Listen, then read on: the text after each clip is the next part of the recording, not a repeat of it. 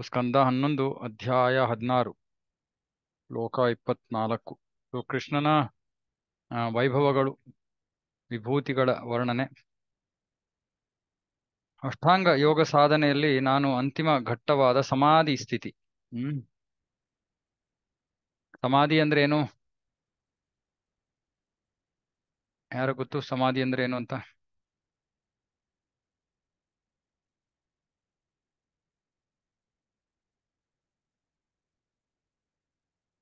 ಸಮಾಧಿ ಅಂದ್ರೆ ಯಾವಾಗ ಮನಸ್ಸು ಸಂಪೂರ್ಣವಾಗಿ ಭಗವಂತನ ಧ್ಯಾನದಲ್ಲಿ ಲೀನವಾಗುತ್ತೋ ಅದು ಸಮಾಧಿ.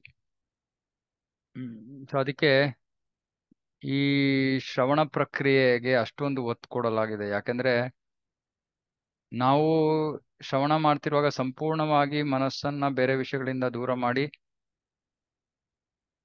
ಆ ಶ್ರವಣ ಪ್ರಕ್ರಿಯೆಯಲ್ಲಿ ತೊಡಗಿದ್ರೆ ಅದು ಸಮಾಧಿ ಸ್ಥಿತಿ. ಸುಮ್ಮನೆ ಕೃಷ್ಣ ಭಾಗವತವನ್ನ ಏಕಾಗ್ರತೆಯಿಂದ ಶ್ರವಣ ಮಾಡೋದ್ರಿಂದಲೇ ನಾವು ಭೌತಿಕ ಬಂಧನದಿಂದ ಮುಕ್ತರಾಗೋಗ್ತೀವಿ. ಸುಮ್ಮನೆ ಕೃಷ್ಣನ ಲೀಲೆಗಳನ್ನ ಶ್ರವಣ ಮಾಡೋದ್ರಿಂದಲೇ ಕೃಷ್ಣನ ಸಂಘವನ್ನ ಪಡ್ಕೋತೀವಿ. ಇದು ಶ್ರವಣ. ಇದು ಸಮಾಧಿಯ ಶ್ರವಣ. ಸಮಾಧಿಯ ಸ್ಥಿತಿಯಲ್ಲಿ ನಾವು ಶ್ರವಣ ಮಾಡಿದ್ರೆ, ಅಂದ್ರೆ ಆ ಒಂದು ರೀತಿಯಲ್ಲಿ ಶ್ರವಣ ಮಾಡಿದ್ರೆ ಅದು ಅಷ್ಟು ಪ್ರಬಲವಾದದ್ದು. ಅದಕ್ಕೆ ಕೃಷ್ಣ ಹೇಳ್ತಾನೆ ಆ ಸಮಾಧಿ ನಾನೇ. ಈ ಸ್ಥಿತಿಯಲ್ಲಿ ಆತ್ಮವು ಸಂಪೂರ್ಣವಾಗಿ ಮಾಯೆಯಿಂದ ಬಿಡುಗಡೆ ಹೊಂದಿರುತ್ತದೆ. ಹ್ಮ್. ಯಾವಾಗ ನಾವು ಆ ರೀತಿ ಶ್ರವಣದಲ್ಲಿ ತೊಡಗ್ತೀವೋ ಸಹಜವಾಗಿ ನಾವು ಮಾಯೆಯಿಂದ ಬಿಡುಗಡೆ ಪಡಿತೀವಿ. ಯಾಕಂದ್ರೆ ಮಾ ಮಾಯೆ ಅಂದ್ರೆ ಈ ಭೌತಿಕ ಜಗತ್ತಿನ ವಿಷಯಗಳು ನಮ್ಮ ಮನಸ್ಸಿಗೆ ಬರೋದಿಲ್ಲ. ಭೌತಿಕ ಶಕ್ತಿಯ ಪ್ರಭಾವದ ಹೊರಗಡೆ ಇರ್ತೀವಿ ನಾವು. ಹ್ಮ್. ಅಷ್ಟಾಂಗ ಯೋಗದಲ್ಲೂ ಕೂಡ ಸಮಾಧಿಯ ಹಂತ ಅದೇ. ಯಾವಾಗ ಅಷ್ಟಾಂಗ ಯೋಗಿ ಹೃದಯದಲ್ಲಿರೋ ಪರಮಾತ್ಮನ ಮೇಲೆ ಧ್ಯಾನಿಸ್ತಾನೆ, ಅವನ ಮನಸ್ಸು ಇಲ್ಲಿ ಅಲ್ಲಿ ವಿಚಲಿತನಾಗದೆ ಇರುವಾಗ ಅದು ಸಮಾಧಿ. ಆದ್ರೆ ನಮಗೆ ಈ ಪ್ರಕ್ರಿಯೆ ಅವಶ್ಯಕತೆ ಇಲ್ಲ. ಆದ್ರೆ ಸುಮ್ಮನೆ ಏಕಾಗ್ರತೆಯಿಂದ ಭಾಗವತ, ಕೃಷ್ಣನ ಲೀಲೆಗಳ ಶ್ರವಣ ಮಾಡಿದ್ರೆ, ಕೃಷ್ಣ ಪುಸ್ತಕ ಆ ರೀತಿ ಶ್ರವಣ ಮಾಡಿದ್ರೇನೆ ಸಮಾಧಿ. ಮತ್ತೆ ಸಮಾಧಿಯಲ್ಲಿ ನಾವು ಸಾಮಾನ್ಯವಾಗಿ ಯಾವ ಲೀಲೆಯ ಶ್ರವಣ ಮಾಡ್ತಾ ಇದೀವೋ ಅಲ್ಲೇ ನಾವು ಅದರ ಭಾಗಿಗಳಾದಂಗೆ ಅಲ್ಲೇ ನಾವು ನಿಂತಿರೋ ರೀತಿಯಲ್ಲಿ ನಾವು ಶ್ರವಣ ಮಾಡ್ಬೇಕು. ಅದು ಸಮಾಧಿ. ಆ ರೀತಿಯಾಗಿ ನಾವು ಸಂಪೂರ್ಣವಾಗಿ ಭಗವಂತನ ವಿಷಯವನ್ನು ನಮ್ಮ ತಲೆ ಒಳಗೆ ಹಾಕೊಂಡಾಗ ನಾವು ಭೌತಿಕ ಶಕ್ತಿಯಿಂದ, ಮಾಯೆಯಿಂದ ನಾವು ಬಿಡುಗಡೆ ಹೊಂದಿರ್ತೀವಿ. ಅರೆ, ನಮ್ಮ ಸಮಸ್ಯೆ ಏನು ಅಂದ್ರೆ ನಾವು ಆ ತಾತ್ಕಾಲಿಕವಾಗಿ ಮಾಯೆಯಿಂದ ಬಿಡುಗಡೆ ಹೊಂದಿದೀವಿ, ಮತ್ತೆ ಕಂಡ್ಬಿಡ್ತೀವಿ, ಮತ್ತೆ ಮಾಯೆಗೆ ಸಿಕ್ಕ ಮಾಯಲ್ಲಿ ಸಿಕ್ಕಾಕೊಂಡ್ಬಿಡ್ತೀವಿ. ಹ್ಮ್. ವಿಜಯಾಕಾಂಕ್ಷಿಗಳಲ್ಲಿ ನಾನು ವಿಹಿತ ರಾಜಕೀಯ ಸಲಹೆಗಾರ. ಓಕೆ ಅದು ನಮ್ಗೇನೋ ಅಷ್ಟೊಂದು ಇದಿಲ್ಲ. ನಿಪುಣ ವಿವೇಚನಾ ಜ್ಞಾನ ಪ್ರಕ್ರಿಯೆಗಳಲ್ಲಿ ನಾನು ಆತ್ಮವಿಜ್ಞಾನ. ಹ್ಮ್. ಹಲವಾರು ರೀತಿಯ ವಿವೇಚನಾ ಜ್ಞಾನ ಇದೆ. ವಿವೇಚನಾ ಜ್ಞಾನ ಅಂದ್ರೆ ಯಾವುದು ನಮಗೆ ವಿವೇಚನೆಯನ್ನ ನೀಡುತ್ತೋ ಅದು. ಅದರಲ್ಲಿ ಎಲ್ಲಕ್ಕಿಂತ ಶ್ರೇಷ್ಠವಾದದ್ದು ಆತ್ಮವಿಜ್ಞಾನ. ಹ್ಮ್, ಆತ್ಮವಿಜ್ಞಾನ ಅಂದ್ರೆ, ಹ್ಮ್, ನಾನು ದೇಹ ಅಲ್ಲ, ನಾನು ಆತ್ಮ, ಇದು ಆತ್ಮವಿಜ್ಞಾನ. ಹ್ಮ್ ಕೃಷ್ಣ ಹೇಳ್ತಾನೆ ಅದು ನಾನು. ಭಗವದ್ಗೀತೆಯಲ್ಲಿ ಕೃಷ್ಣ ಹೇಳ್ದ ಜಪಯಜ್ಞ ನಾನು. ಹ್ಮ್. ಆಧ್ಯಾತ್ಮಿಕ ಜೀವನದಲ್ಲಿ ನಾವು ಏನು ಪ್ರಕ್ರಿಯೆಗಳಲ್ಲಿ ತೊಡಗ್ತೀವೋ ಅದು ಕೂಡ ಕೃಷ್ಣ. ಅದರಿಂದ ಜೀವಿಯು ಯಾವ್ದರಿಂದ ಈ ಆತ್ಮ ವಿಜ್ಞಾನದಿಂದ ಜೀವಿಯು ಜಡ ಮತ್ತು ಚೇತನಗಳ ವ್ಯತ್ಯಾಸ ತಿಳಿಯಬಲ್ಲ. ಎಲ್ಲ ಊಹಾತ್ಮಕ ಚಿಂತನಾಕಾರರಲ್ಲಿ ನಾನು ವೈವಿಧ್ಯಮಯವಾದ ಗ್ರಹಿಕೆಯಾಗಿದ್ದೇನೆ. ಹ್ಮ್. ಓಕೆ ನೀವೇ ಸ್ತ್ರೀಯರಲ್ಲಿ ನಾನು ಶತರೂಪ, ಪುರುಷರಲ್ಲಿ ನಾನು ಅವಳ ಪತಿ ಸ್ವಯಂಭುವ ಮನು. ಋಷಿಗಳಲ್ಲಿ ನಾನು ನಾರಾಯಣ ಮತ್ತು ಬ್ರಹ್ಮಚಾರಿಗಳಲ್ಲಿ ಸನತ್ ಕುಮಾರ ಧಾರ್ಮಿಕ ತತ್ವಗಳಲ್ಲಿ ನಾನು ಸನ್ಯಾಸಾಶ್ರಮ. ಹಾಗೆ ಎಲ್ಲಾ ಬಗೆಯ ಭದ್ರತೆಗಳಲ್ಲಿ ಶಾಶ್ವತ ಆತ್ಮನೊಳಗಿನ ಪ್ರಜ್ಞೆಯಾಗಿದ್ದೇನೆ. ಆತ್ಮನೊಳಗಿನ ಪ್ರಜ್ಞೆ. ಹ್ಮ್. ಸೊ, ಆತ್ಮ ಇದೆ ಅಂತ ಹೇಗೆ ಗೊತ್ತಾಗತ್ತೆ? ನಮ್ಗೆ ಪ್ರಜ್ಞೆಯಿಂದಾಗಿ ಗೊತ್ತಾಗತ್ತೆ.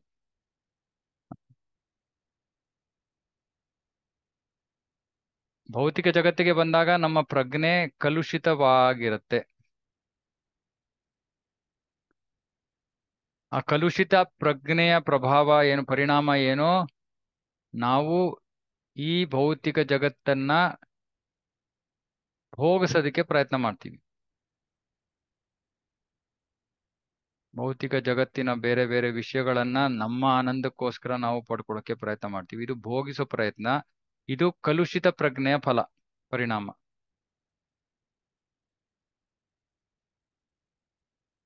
ನಮ್ಮ ಪ್ರಜ್ಞೆ ಕಲುಷಿತವಾಗಿರ್ಬೋದು ಅಥವಾ ಪರಿಶುದ್ಧವಾಗಿರ್ಬೋದು? ಅರೆ, ಪ್ರಜ್ಞೆ ಇರ್ಲೇಬೇಕು. ಪ್ರಜ್ಞೆ ಆತ್ಮದ ಸಂಕೇತ.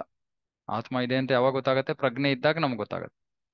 ಆ ಪ್ರಜ್ಞೆ ಭೌತಿಕವಾಗಿದ್ರೆ ಅದು ಕಲುಷಿತ ಪ್ರಜ್ಞೆ ಅಂತ ಗೊತ್ತಾಗತ್ತೆ. ಆ ಪ್ರಜ್ಞೆ ಸ್ವಚ್ಛವಾಗಿದ್ರೆ ಅದು ಕೃಷ್ಣ ಪ್ರಜ್ಞೆ ಅಂತ ಗೊತ್ತಾಗುತ್ತೆ. ದಿನ, ದಿನದಲ್ಲಿ ನಮ್ಮ ಪ್ರಜ್ಞೆ ಭೌತಿಕ ಪ್ರಜ್ಞೆಯಲ್ಲಿರುತ್ತೆ ಅಥವಾ ಆಧ್ಯಾತ್ಮಿಕ ಪ್ರಜ್ಞೆಯಲ್ಲಿರುತ್ತೆ, ಕೃಷ್ಣ ಪ್ರಜ್ಞೆಯಲ್ಲಿರುತ್ತೆ. ಎಷ್ಟು ಭೌತಿಕ ವಿಷಯಗಳಿಗೆ ನಾವು ಅಂಟ್ಕೊಂಡಿರ್ತೀವೋ ಅಷ್ಟು ನಮ್ಮ ಪ್ರಜ್ಞೆ ಭೌತಿಕವಾಗಿ ತೊಡಗಿರುತ್ತೆ. ಅದಕ್ಕೆ ವರ್ಣಾಶ್ರಮ ಪ್ರಕ್ರಿಯೆಯನ್ನ ನಾವು ತಿಳ್ಕೋಬೇಕು ವರ್ಣಾಶ್ರಮದಲ್ಲಿ, ಗೃಹಸ್ಥಾಶ್ರಮದಲ್ಲಿರೋರು ಅವ್ರಿಗೆ ಹಲವಾರು ವಿಷಯಗಳಲ್ಲಿ ತೊಡಗೋ ಅವಶ್ಯಕತೆ ಇರುತ್ತೆ. ತೊಡಗುತ್ತಾರೆ ಪ್ರಜ್ಞೆ ಆಗ ಸ್ವಲ್ಪ ಮಟ್ಟಿಗೆ ಕಲುಷಿತವಾಗತ್ತೆ ಗೃಹಸ್ಥಾಶ್ರಮದಲ್ಲಿ. ಅದಕ್ಕೆ ಏನ್ ಮಾಡ್ಬೇಕು ನಾವು? ಬಹಳ ಬೇಗ ಈ ಗೃಹಸ್ಥಾಶ್ರಮದಿಂದ ಗೃಹಸ್ಥಾಶ್ರಮದ ಕೆಲಸ ಕಾರ್ಯಗಳನ್ನ ಮುಗಿಸ್ಕೋಬೇಕು. ಇವಾಗ ಗೃಹಸ್ಥಾಶ್ರಮದಲ್ಲಿದ್ದಾಗ ನಮ್ಗೆ ಭೌತಿಕ ವಿಷಯಗಳ ಬಗ್ಗೆ ಯೋಚನೆ ಮಾಡೋದು ಅನಿವಾರ್ಯತೆ. ಅದು ಮಾಡ್ಲೇಬೇಕಾಗತ್ತೆ ಇಲ್ಲ ಅಂದ್ರೆ ಬೇರೆ ಮಾರ್ಗ ಇಲ್ಲ. ನಾ ಮಾಡ್ಲಿಲ್ಲ ಅಂದ್ರೆ ಇನ್ಯಾರು ಬಂದ್ ಮಾಡಲ್ಲ, ನಮ್ಮ ಗೃಹ ಕಾರ್ಯಗಳ ಬಗ್ಗೆ ಯೋಚನೆ. ಅವಾಗ ಎಷ್ಟೊಂದು ಅನಗತ್ಯ ವಿಷಯಗಳ ಬಗ್ಗೆ ನಾವು ಯೋಚನೆ ಮಾಡ್ಬೇಕಾಗತ್ತೆ. ಅನಗತ್ಯ ಅಂದ್ರೆ ನಿಜವಾಗ್ಲೂ ಅಗತ್ಯ ಇಲ್ಲ, ಆದ್ರೆ ಆ ಕ್ಷಣಕ್ಕೆ ನಮ್ಗೆ ಬೇಕಾಗಿರುವಂತ ಬೇಕಾದಷ್ಟು ವಿಷಯಗಳಿರುತ್ತೆ. ಅದ್ರ ಬಗ್ಗೆ ನಾವು ಯೋಚನೆ ಮಾಡ್ಬೇಕಾಗತ್ತೆ. ಅಂದ್ರೆ ಅದು ಕೃಷ್ಣ ಪ್ರಜ್ಞೆ ಆಗಿರೋದಿಲ್ಲ. ಕಲುಷಿತ ಪ್ರಜ್ಞೆ ಅದು. ಅದಕ್ಕೆ ಎಷ್ಟು ಬೇಗ ನಾವು ಈ ಗೃಹಸ್ಥಾಶ್ರಮದ ಕರ್ತವ್ಯಗಳಿಂದ ಹೊರಗಡೆ ಬರ್ತೀವೋ ಅಷ್ಟರ ಬೇಗ ನಾವು ನಮ್ಮ ಪ್ರಜ್ಞೆ ಕಲುಷಿತ ಪ್ರಜ್ಞೆಯಿಂದ ಶುದ್ಧ ಪ್ರಜ್ಞೆ ಆಗುತ್ತೆ. ಕಲುಷಿತ ಪ್ರಜ್ಞೆಯನ್ನ ಶುದ್ಧ ಪ್ರಜ್ಞೆಯಾಗಿ ಮಾಡೋ ಪ್ರಕ್ರಿಯೆನೇ ಭಕ್ತಿ ಸೇವೆ. ಭಕ್ತಿ ಸೇವೆಯನ್ನ ಮಾಡಿದಾಗ ನಾವು ಕಲುಷಿತ ಪ್ರಜ್ಞೆಯನ್ನ ಶುದ್ಧ ಪ್ರಜ್ಞೆಯಾಗಿ ಪರಿವರ್ತಿಸ್ತಾ ಇದೀವಿ ಆದರೆ ಅದು ಬೆಂಕಿಗೆ ಸಮಾನ. ಆದರೆ ನಾವು ಅದಕ್ಕೆ ನೀರು ಹಾಕಿದ್ರೆ ಏನಾಗುತ್ತೆ? ಆ ಕಲುಷಿತ ಪ್ರಜ್ಞೆ ಕಲುಷಿತವಾಗಿಯೇ ಉಳಿಯುತ್ತೆ, ಇನ್ನೂ ಹೆಚ್ಚು ಕಲುಷಿತವಾಗುತ್ತೆ.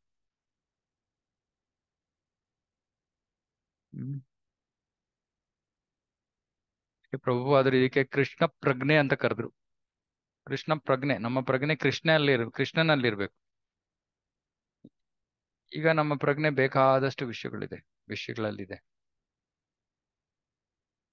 ಅದನ್ನು ಬದಲಾಯಿಸಿ ಕೃಷ್ಣನಲ್ಲಿ ನಾವು ನಮ್ಮ ಪ್ರಜ್ಞೆಯನ್ನ ಇಡಬೇಕು. ಅದು ಆತ್ಮದ ನಿಜವಾದ ಸ್ಥಿತಿ, ಅದಕ್ಕೆ ಸ್ವರೂಪ ಸ್ಥಿತಿ ಅಂತ ಹೇಳೋದು. ಸ್ವರೂಪ ಸ್ಥಿತಿ ಅಂದ್ರೆ ಕೃಷ್ಣ ಪ್ರಜ್ಞೆ. ರಹಸ್ಯಗಳಲ್ಲಿ ನಾನು ಮಧುರ ವಚನ ಮತ್ತು ಮೌನವಾಗಿದ್ದೇನೆ.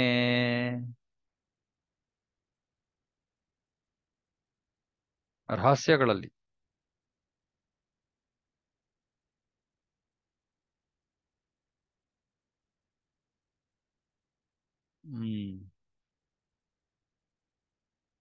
ಸಾಮಾನ್ಯವಾದ ಮಧುರ ವಚನಗಳಲ್ಲಿ ಹಾಗೂ ಮೌನದಲ್ಲಿ ಕೆಲವೊಂದು ರಹಸ್ಯ ವಿಚಾರಗಳು ಬಹಿರಂಗಗೊಳ್ಳುತ್ತವೆ.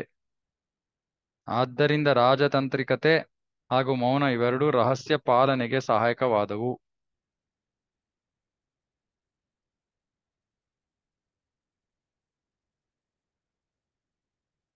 ಹ್ಮ್.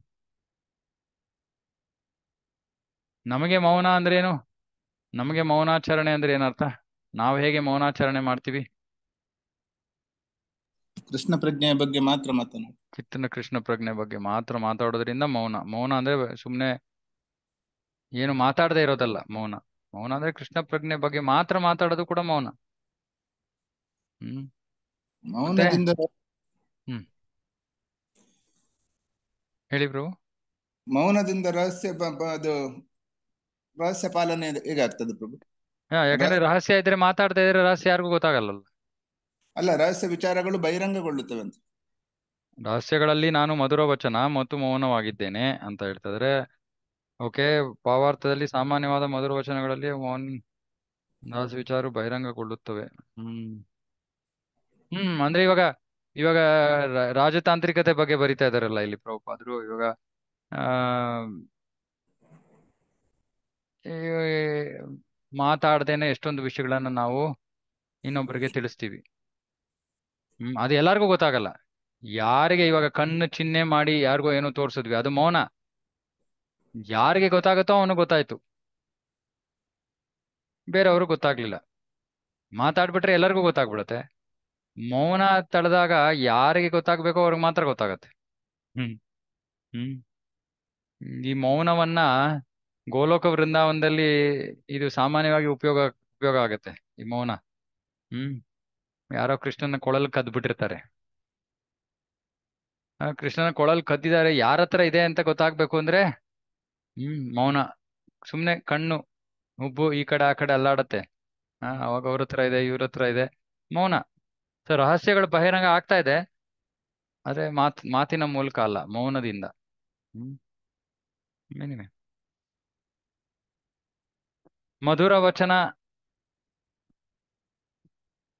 ಮಧುರ ವಚನ ಅಂದ್ರೆ, ಆ, ಸತ್ಯವನ್ನ ಇನ್ನೊಬ್ರು ಗ್ರಹಿಸುವ ರೀತಿಯಲ್ಲಿ ಮಾತಾಡ್ಬೇಕಂತೆ. ಅಂದ್ರೆ ಗ್ರಹಿಸಕ್ ಆಗೋ ರೀತಿಯಲ್ಲಿ. ಸತ್ಯವನ್ನ ಹೇಳ್ಬೇಕು, ಆದ್ರೆ ಅವ್ರಿಗೂ ಗ್ರಹಿಸಕ್ಕೂ ಆಗ್ಬೇಕು. ಅಂದ್ರೆ ವರ್ಟ್ ವರ್ಟ್ ಆಗಿ ಹೇಳೋದಂತಲ್ಲ. ಇನ್ನೊಬ್ಬರಿಗೆ ಗ್ರಹಿಸಕ್ ಆಗೋ ರೀತಿಯಲ್ಲಿ ಸತ್ಯವನ್ನ ನುಡಿಬೇಕು. ಅದು ಮಧುರ ವಚನ. ಮಧುರ ವಚನ ಅಂದ್ರೆ, ಆ, ಸುಮ್ನೆ ಕೆಲ್ಸಕ್ ಬಾರ್ದೇ ಇದ್ದು ಏನೋ ವಿಷಯ ಮಾತಾಡ್ಕೊಂಡು ಯಾರೋ, ಯಾರನ್ನು ನಗಿಸ್ತಾ ಇದೀವಿ, ಹಾಸ್ಯಾಸ್ಪದವಾಗಿ ಮಾತಾಡ್ತಾ ಇದೀವಿ, ಅಥವಾ ತುಂಬಾ ಸಿಹಿಯಾಗಿ ಮಾತಾಡ್ತಾ ಇದೀವಿ, ಅದು ಮಧುರ ವಚನ ಅಲ್ಲ. ಹ್ಮ್. ಅದು ಮಧುರ ವಚನ, ಆದ್ರೆ ನಿಜವಾದ ಮಧುರ ವಚನ ಅಂದ್ರೆ ಸತ್ಯವನ್ನ ಇನ್ನೊಬ್ಬರಿಗೆ ಅರ್ಥ ಆಗೋ ರೀತಿಯಲ್ಲಿ ಬಹಿರಂಗ ಮಾಡೋದು. ಜಾಗೃತ ಕಾಲಚಕ್ರದಲ್ಲಿ ನಾನು ಸಂವತ್ಸರ ಮತ್ತು ಋತುಗಳಲ್ಲಿ ನಾನು ವಸಂತ ಋತು, ಮಾಸಗಳಲ್ಲಿ ನಾನು ಮಾರ್ಗಶೀರ್ಷ ಮತ್ತು ನಕ್ಷತ್ರಗಳಲ್ಲಿ ನಾನು ಅಭಿಜಿತ್ ಮುಹೂರ್ತ. ಯುಗಗಳಲ್ಲಿ ನಾನು ಸತ್ಯಯುಗ, ಧೀರ ಮುನಿಗಳಲ್ಲಿ ನಾನು ದೇವಲ ಮತ್ತು ಅಸಿತ. ವೇದ ವಿಭಜಕರಲ್ಲಿ ನಾನು ಕೃಷ್ಣ ದ್ವೈಪಾಯನ ವೇದ ವ್ಯಾಸ ಮತ್ತು ಮಹಾನ್ ವಿದ್ವಾಂಸರಲ್ಲಿ ಆಧ್ಯಾತ್ಮ ವಿಜ್ಞಾನವನ್ನು ಬಲ್ಲ ಶುಕ್ರಾಚಾರ್ಯ. ಹ್ಮ್, ನೋಡಿ ಶುಕ್ರಾಚಾರ್ಯ. ಹ್ಮ್. ಸುಮ್ನೆ ಜ್ಞಾನದಿಂದ ಏನು ಪ್ರಯೋಜನ ಇಲ್ಲ ಇಲ್ಲ ಅನ್ನೋದಕ್ಕೆ ಶುಕ್ರಾಚಾರ್ಯರೇ ಉದಾಹರಣೆ. ಹ್ಮ್. ಕೃಷ್ಣ ಹೇಳ್ತಾ ಇದ್ದಾನೆ, ಮಹಾನ್ ವಿದ್ವಾಂಸರಲ್ಲಿ ಆಧ್ಯಾತ್ಮ ಜ್ಞಾನವನ್ನ ಪಡ್ಕೊಂಡಿರೋ ಶುಕ್ರಾಚಾರ್ಯ ನಾನು ಅಂತ? ಆದ್ರೆ ಶುಕ್ರಾಚಾರ್ಯರು ಆ ಜ್ಞಾನದವನ್ನ ವಿಜ್ಞಾನವಾಗಿ ಪರಿವರ್ತಿಸ್ಲಿಲ್ಲ, ಹೌದಾ? ಹ್ಮ್ ಆತ್ಮ ಜ್ಞಾನವನ್ನು ಹೊಂದಿದ್ರು. ಆದ್ರೆ ಆತ್ಮ ಭಗವಂತನ ಅಂಶ ಅನ್ನೋದನ್ನ ತಿಳ್ಕೊಳ್ಳಿಲ್ಲ. ಅಥವಾ ಭಗವಂತನಿಗೆ ಸೇವೆ ಮಾಡೋದೇ ನಮ್ಮ ಜೀವನದ ಗುರಿ ಅಂತ ತಿಳ್ಕೊಳ್ಳಿಲ್ಲ. ಹಾಗಾಗಿ ಬಲಿ ಮಹಾರಾಜ, ಆ ಆ ಪ್ರತಿಜ್ಞೆಯನ್ನ ಕೊಟ್ಟಾಗ ಅವನನ್ನ, ಅವನ ಪ್ರತಿಜ್ಞೆಯನ್ನ ಭಂಗ ಮಾಡೋದಕ್ಕೆ ಪ್ರಯತ್ನ ಮಾಡ್ತಾರವ್ರು. ಹ್ಮ್, ರಾವಣ ಹಿರಣ್ಯಕಶಿಪು ಇವರೆಲ್ಲರೂ ಕೂಡ ಜ್ಞಾನವನ್ನ ಹೊಂದಿದ್ದವರು. ಆದ್ರೆ ವಿಜ್ಞಾನ ಇರ್ಲಿಲ್ಲ ಅವ್ರ ಜೀವನದಲ್ಲಿ. ಅಂದ್ರೆ ಅದನ್ನ ಜೀವನದಲ್ಲಿ ಅಳವಡಿಸ್ಕೊಳ್ಳೋ ತೊಂದರೆಗೆ ಬರ್ಲಿಲ್ಲ ಅವ್ರು. ಅದಕ್ಕೆ ನಾವು ಜ್ಞಾನವನ್ನ ಸುಮ್ನೆ ಪಡ್ಕೊಂಡ್ರೆ ಉಪಯೋಗ ಇಲ್ಲ. ಅದನ್ನ ಜೀವನದಲ್ಲಿ ಅಳವಡಿಸ್ಕೋಬೇಕು. ಶ್ರವಣ ಜ್ಞಾನ, ವಿಜ್ಞಾನ ಎರಡು ಜೊತೆಗೆ ಹೋಗ್ಬೇಕು. ಆ ಜ್ಞಾನ ಅಂದ್ರೆ ವಿಚಾರ, ವಿಷಯಗಳನ್ನ ತಿಳ್ಕೊಬೇಕು. ಜೊತೆ ಜೊತೆಗೆ ನಾವು ಅದನ್ನ ಜೀವನದಲ್ಲಿ ಅಳವಡಿಸ್ಕೊಳಕ್ ಪ್ರಯತ್ನ ಮಾಡ್ಬೇಕು. ಇಲ್ಲಾಂದ್ರೆ ಈ ಆಧ್ಯಾತ್ಮಿಕ ಜ್ಞಾನ ವ್ಯರ್ಥ. ಆಧ್ಯಾತ್ಮಿಕ ಜ್ಞಾನ ಸುಮ್ಮನೆ ಪುಸ್ತಕ ರೂಪದಲ್ಲಿ ಅಥವಾ ಜ್ಞಾನ ರೂಪದಲ್ಲಿ, ತಾತ್ವಿಕ ರೂಪದಲ್ಲಿ ಉಳಿದ್ರೆ ಅದರ ಪ್ರಯೋಜನ ಇಲ್ಲ.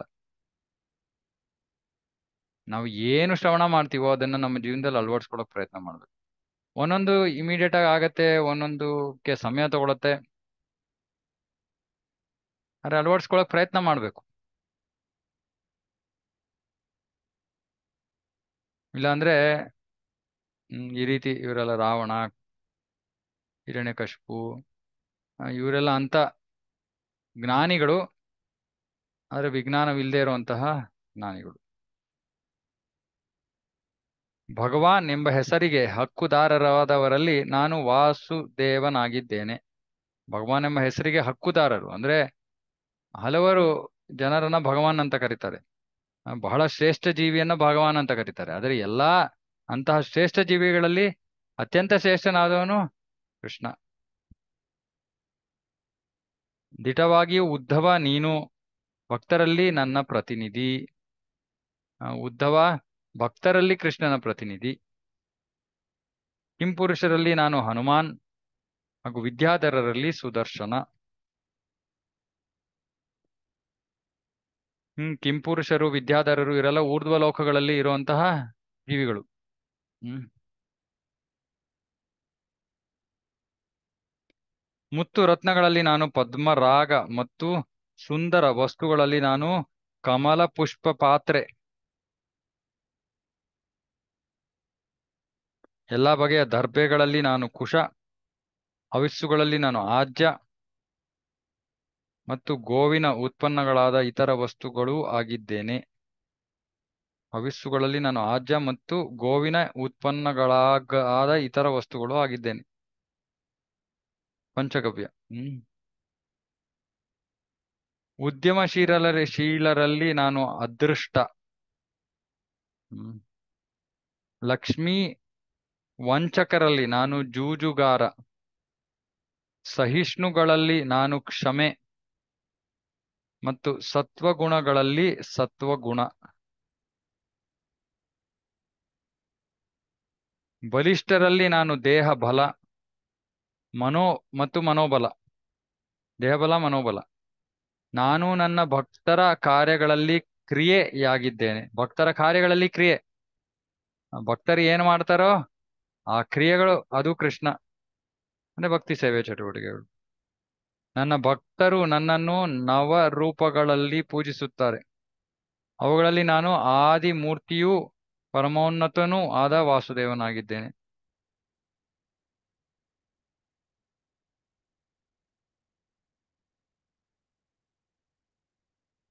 ಇಲ್ಲಿ ನವರೂಪ ಏನು ಅಂತ ಕೊಟ್ಟಿಲ್ಲ ಇಲ್ಲಿ. ಹಾ ಇಲ್ಲಿದೆಯಲ್ಲ. ವಾಸುದೇವ ಸಂಕರ್ಷಣ ಪ್ರದ್ಯುಮ್ನ ಅನಿರುದ್ಧ, ನಾರಾಯಣ, ಹಯಗ್ರೀವ, ವರಾಹ, ನರಸಿಂಹ ಮತ್ತು ಬ್ರಹ್ಮ. ಓಕೆ ಗೊತ್ತಿರಲಿಲ್ಲ ನನಗೆ. ಸಾಮಾನ್ಯವಾಗಿ ವೈಷ್ಣವರು ದೇವೋತ್ತಮ ಪುರುಷನನ್ನು ವಾಸುದೇವ ಸಂಕರ್ಷಣ ಪ್ರದ್ಯುಮ್ನ ಅನಿರುದ್ಧ, ಓಕೆ?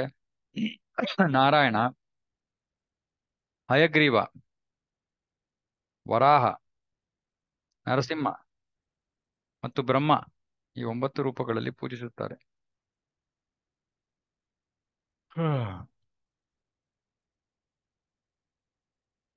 ಓಕೆ ಗಂಧರ್ವರ ಪೈಕಿ ನಾನು ವಿಶ್ವಾವಸು. ಸ್ವರ್ಗ ಲೋಕದ ಅಪ್ಸರೆಯರಲ್ಲಿ ನಾನು ಪೂರ್ವ ಚಿತ್ತಿ. ಪರ್ವತಗಳ ಸ್ಥೈರ್ಯವಾಗಿದ್ದೇನೆ. ಹಾಗೂ ಮಣ್ಣಿನ ಸುಗಂಧವಾಗಿದ್ದೇನೆ. ನಾನು ನೀರಿನ ಮಧುರ ರುಚಿ. ಪ್ರಕಾಶಮಯ ವಸ್ತುಗಳಲ್ಲಿ ನಾನು ಸೂರ್ಯ ಹಾಗೂ ನಾನು ಸೂರ್ಯ, ಚಂದ್ರ ಮತ್ತು ನಕ್ಷತ್ರಗಳ ಪ್ರಭೆ ಮತ್ತು ಆಕಾಶದಲ್ಲಿ ನಾನು ಕಂಪನಗೈಯುವ ದಿವ್ಯ ಶಬ್ದ.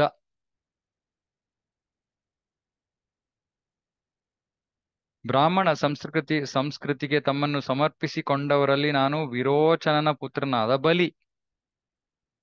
ಬ್ರಾಹ್ಮಣ ಸಂಸ್ಕೃತಿಗೆ ತಮ್ಮನ್ನು ತಾವು ಸಮರ್ಪಿಸಿಕೊಂಡವರಲ್ಲಿ. ವೀರ ಯೋಧರಲ್ಲಿ ನಾನು ಅರ್ಜುನ. ಭಕ್ತರಲ್ಲಿ ಉದ್ಧವ, ವೀರ ಯೋಧರಲ್ಲಿ ಅರ್ಜುನ.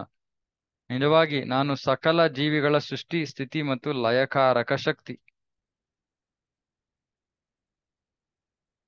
ನಾನು ಪಂಚೇಂದ್ರಿಯಗಳಾದ ಕಾಲುಗಳು, ಮಾತು, ಗುದ, ಕೈಗಳು ಮತ್ತು ಜನನೇಂದ್ರಿಯಗಳು. ಕರ್ಮೇಂದ್ರಿಯಗಳು. ಹ್ಮ್. ಮತ್ತು ಐದು ಜ್ಞಾನದಾಯಕ ಇಂದ್ರಿಯಗಳಾದ ಸ್ಪರ್ಶ ದೃಷ್ಟಿ ರುಚಿ ಶ್ರವಣ ವಾಸನೆ.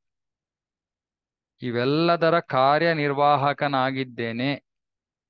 ಎಲ್ಲ ಇಂದ್ರಿಯಗಳ ವಿಶಿಷ್ಟ ವಿಷಯ ಅನುಭವದ ಶಕ್ತಿಯೂ ನಾನಾಗಿದ್ದೇನೆ.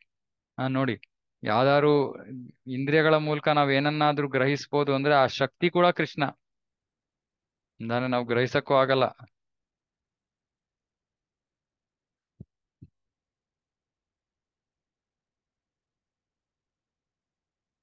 ನಾನು ರೂಪ, ರಸ, ಗಂಧ, ಸ್ಪರ್ಶ ಮತ್ತು ಶಬ್ದ ತನ್ಮಾತ್ರ ಅಂತಾರೆ ಇದಕ್ಕೆ. ರೂಪ, ಗಂಧ, ರಸ ರೂಪ, ರಸ, ಗಂಧ, ಸ್ಪರ್ಶ, ಶಬ್ದ.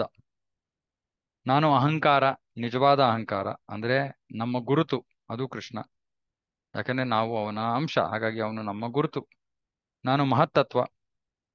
ಮಹತ್ತತ್ವ ಅಂದ್ರೆ ಈ ಭೌತಿಕ ಜಗತ್ತಿನ ಸೃಷ್ಟಿಯ ಒಟ್ಟು ಭೌತಿಕ ವಸ್ತು. ಮಹತ್ತತ್ವ ಅದರಿಂದಾನೇ ಸೃಷ್ಟಿಯಾಗೋದು. ಭೂಮಿ, ಜಲ, ಅಗ್ನಿ, ವಾಯು ಮತ್ತು ಆಕಾಶ. ನಾನು ಜೀವಿ. ನಾನು ಐಹಿಕ ಪ್ರಕೃತಿ.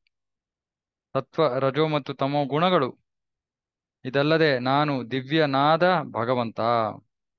ಎಲ್ಲವೂ ಅವುಗಳ ವೈಯಕ್ತಿಕ ಲಕ್ಷಣಗಳ ಜ್ಞಾನದೊಂದಿಗೆ ಹಾಗೂ ಈ ಜ್ಞಾನದ ಫಲವಾದ ದೃಢ ನಿಶ್ಚಯವು ನನ್ನನ್ನು ಪ್ರತಿನಿಧಿಸುತ್ತದೆ. ಈ ಎಲ್ಲವೂ ಅವುಗಳ ವೈಯಕ್ತಿಕ ಲಕ್ಷಣಗಳ ಜ್ಞಾನದೊಂದಿಗೆ ಹಾಗೂ ಈ ಜ್ಞಾನದ ಫಲವಾದ ದೃಢ ನಿಶ್ಚಯ.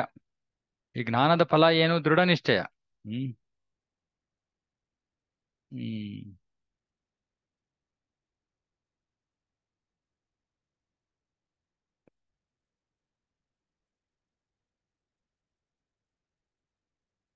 ಜ್ಞಾನದ ಫಲ ದೃಢ ನಿಶ್ಚಯ ಯಾಕೆ? ಯಾಕಂದ್ರೆ ಹಾ ಹೇಳಿ ರವಿತೇಜ ಬ್ರೋ ಹರೇ ಕೃಷ್ಣ. ಹರೇ ಕೃಷ್ಣ ಹಾ ಪ್ರಭುಜಿ ಹೇಳಿ. ಆ, ಅಲ್ಲಿ ಮೊದಲು ಓದಿದಾಗ ಸತ್ವಗಳ ಸತ್ವಗುಣಗಳ ಸತ್ವ ನಾನು ಅಂತ ಬಂತು. ಹ್ಮ್ ಹ್ಮ್ ಹ್ಮ್. ಅದು ಹೇಗೆ ಅರ್ಥ ಮಾಡ್ಕೊಳ್ಳೋದು? ತತ್ವ ಅಂದ್ರೆ ರ- ಸಾರ. ಹಾ ಒಂದ್ ಹ್ಮ್. ಗುಣ ಅದರ ಸಾರ. ಹ್ಮ್. ಸತ್ವಗುಣದಲ್ಲಿ ಏನು ಸತ್ವ ಇದೆಯೋ ಅದು ನಾನು ಅಂತ. ಹಾ ಓಕೆ ಸರಿ ಆಮೇಲೆ ಮಹತ್ತತ್ವ ಅಂದ್ರೆ ಇಪ್ಪತ್ನಾಲ್ಕು ಘಟಕಾಂಶಗಳ ಹ್ಮ್ ಮಹತ್ತತ್ವ ಅಂದ್ರೆ ಭೌತಿಕ ಸೃಷ್ಟಿಗೆ ಬೇಕಾಗಿರೋ ಎಲ್ಲಾ ಭೌತಿಕ ಅಂಶಗಳು. ಹ್ಮ್ ಇಪ್ಪತ್ನಾಲ್ಕು. ಭಗವದ್ಗೀತೆಯಲ್ಲಿ ಬರುವಂತಹ ಇಪ್ಪತ್ನಾಲ್ಕು ಘಟಕಾಂಶ. ಹ್ಮ್. ಸರಿ. ಪ್ರಭು ರಜಗುಣ ತಮಗುಣ ಅಂತ ಹೇಳಿ. ನಾನೇ ಹಾ. ಏಯ್ ಏನಪ್ಪಾ ಇದು? ರಜೋಗುಣ ತಮೋಗುಣ ಅಂತ ಏನಂತ ಕೇಳ್ತಾ ಇದೀರ ಓ ಭಗವದ್ಗೀತೆ ಎಲ್ಲ ಓದಿರ್ಬೇಕು ಇದಕ್ಕೆ ಭಾಗವತ ಓದೋದಕ್ಕೆ ಓದ್ ನಾವು ಈ ಬೇಸಿಕ್ಸ್ ಎಲ್ಲ ಡಿಸ್ಕಸ್ ಮಾಡಕ್ಕಾಗಲ್ಲ. ಹಾ ಹದಿನಾಲ್ಕನೇ ಅಧ್ಯಾಯ ಓದಿ ಭಗವದ್ಗೀತೆ.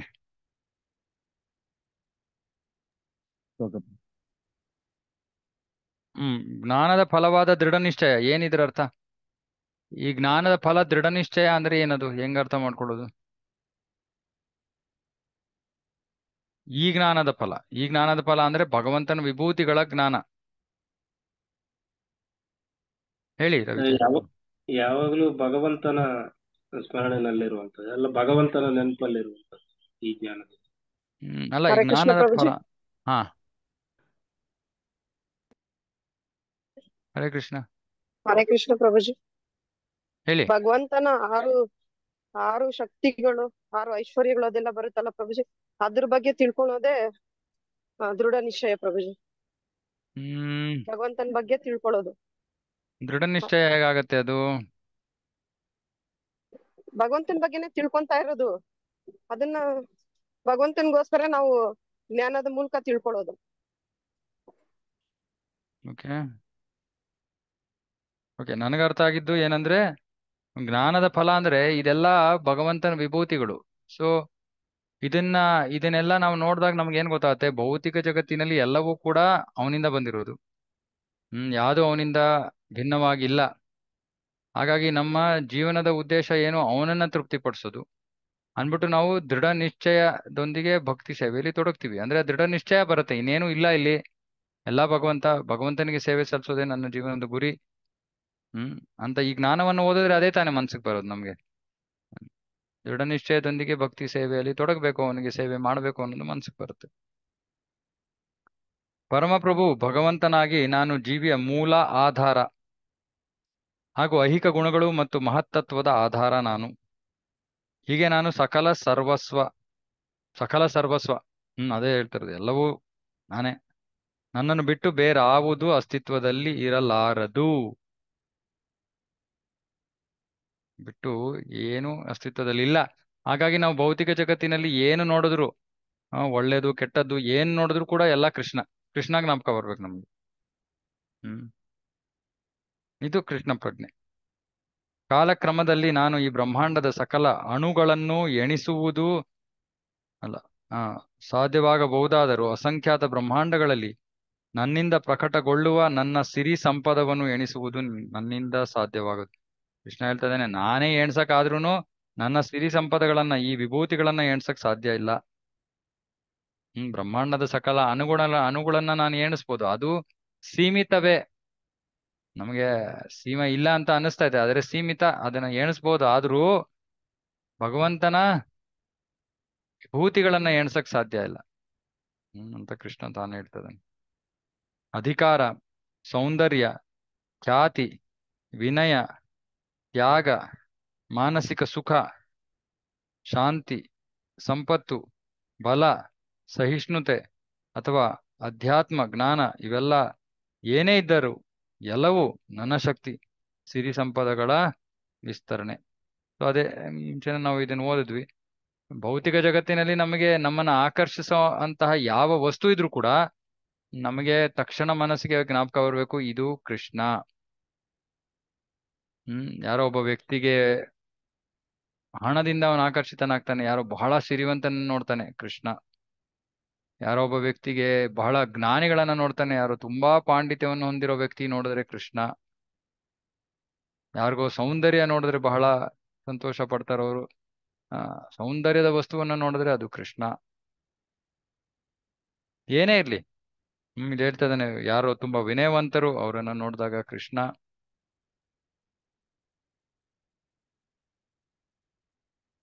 ಮಾನಸಿಕ ಸುಖ, ಶಾಂತಿ, ಕೃಷ್ಣ. ಸಂಪತ್ತು ಕೃಷ್ಣ, ಬಲ ಕೃಷ್ಣ, ಸಹಿಷ್ಣುತೆ ಕೃಷ್ಣ. ಆ ಎಲ್ಲವೂ ಕೃಷ್ಣ, ಯಾಕಂದ್ರೆ ಅದು ಅವನ ವಿಭೂತಿಗಳ ವಿಸ್ತರಣೆ ಅಷ್ಟೇ. ಅವನಿಂದ ಅಭಿನ್ನ. ನಾನು ನನ್ನ ಆಧ್ಯಾತ್ಮಿಕ ಸಿರಿ ಸಂಪದವನ್ನು ಹಾಗೂ ಮನಸ್ಸು ಗ್ರಹಿಸುವ ಮತ್ತು ನಾನಾ ಸಂದರ್ಭಾನುಸಾರ ನಾನಾ ರೀತಿಗಳಲ್ಲಿ ನಿರ್ಧರಿಸಲಾಗುವ ನನ್ನ ಸೃಷ್ಟಿಯ ವಿಶೇಷ ಲಕ್ಷಣಗಳನ್ನು ಸಂಕ್ಷಿಪ್ತವಾಗಿ ಹೇಳಿದ್ದೇನೆ. ಓಕೆ. ಆದ್ದರಿಂದ ನಾಲಿಗೆಯನ್ನು ನಿಯಂತ್ರಿಸು, ಮನಸ್ಸನ್ನು ನಿಗ್ರಹಿಸು, ಪ್ರಾಣವಾಯುವನ್ನು ಜಯಿಸು, ನಿರ್ಮಲ ಬುದ್ಧಿಶಕ್ತಿಯಿಂದ ಇಂದ್ರಿಯಗಳನ್ನು ನಿಗ್ರಹಿಸು ವಿವೇಚನಾ ಶಕ್ತಿಯನ್ನು ನಿನ್ನ ಹಿಡತ, ಹಿಡತದಲ್ಲಿಟ್ಟುಕೋ. ಹೀಗೆ ಮಾಡುವುದರಿಂದ ನೀನು ಮತ್ತೆ ಐಹಿಕ ಅಸ್ತಿತ್ವದ ಪಥಕ್ಕೆ ಪತನ ಹೊಂದುವುದಿಲ್ಲ. ನಾಲಿಗೆಯನ್ನು ನಿಯಂತ್ರಿಸು, ಆಗದಿಲ್ವಲ್ಲ? ಆ ನಾಲಿಗೆಯನ್ನು ನಿಯಂತ್ರಿಸಕ್ಕೆ ಆಗಲ್ವಲ್ಲ? ಪ್ರಸಾದವನ್ನ ಮಾತ್ರ ಸೇವನೆ ಮಾಡಿದ್ರೆ ನಾಲಿಗೆನ ನಿಯಂತ್ರಿಸಬಹುದು ಅಂತಾರೆ. ಪ್ರಸಾದ ಒಂದನ್ನೇ ಸೇವನೆ ಮಾಡುವ ಕೂಡ ಭಕ್ತರು ನಾವು ನಮ್ಮ ನಾಲಿಗೆಯನ್ನು ನಿಯಂತ್ರಿಸುವುದರಲ್ಲಿ ವಿಶ್ವ ವಿಫಲರಾಗಿ ಹೋಗ್ತೀವಿ. ಹಾಗಾಗಿ ನಾಲಿಗೆಗೆ ಎರಡು ಕೆಲಸ ಕೊಡ್ಬೇಕು. ಒಂದು ಪ್ರಸಾದ, ಇನ್ನೊಂದು ಜಪ, ಅಥವಾ ಶ್ಲೋಕ, ಪಠಣ ಈ ರೀತಿ. ಭಗವಂತನ ಸಂಬಂಧಿತವಾಗಿ ನಮ್ಮ ನಾಲೆಗೆ ಎಷ್ಟು ನಿಯಂತ್ರಣದಲ್ಲಿ ಇಲ್ವೋ ಅಷ್ಟು ಅದನ್ನ ಕೃಷ್ಣನ ವಿಷಯಗಳಲ್ಲಿ ತೊಡಗಿಸ್ಬೇಕು. ಅವಾಗ ಮಾತ್ರ ಅದು ನಿಯಂತ್ರಣಕ್ಕೆ ಬರೋದು. ಮನಸ್ಸನ್ನು ನಿಗ್ರಹಿಸು. ಮನಸ್ಸನ್ನ ನಿಗ್ರಹಿಸೋದಕ್ಕೆ ಇರೋ ಮಾರ್ಗ ಏನು?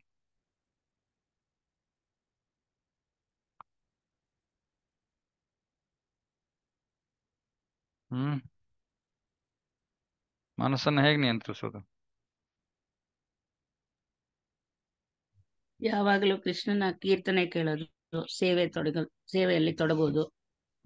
ಕೃಷ್ಣ ಪ್ರಜ್ಞೆಯಲ್ಲಿದ್ರೆ ಮನಸ್ಸು ಕೃಷ್ಣ ನಿಗ್ರಹವಾಗುತ್ತೆ ಪ್ರಜ್ಞೆಯಲ್ಲಿರ್ಬೇಕು. ಪ್ರಾಣವಾಯುವನ್ನು ಜಯಿಸು. ಓಕೆ. ನಿರ್ಮಲ ಬುದ್ಧಿಶಕ್ತಿಯಿಂದ ಇಂದ್ರಿಯಗಳನ್ನು ನಿಗ್ರಹಿಸು.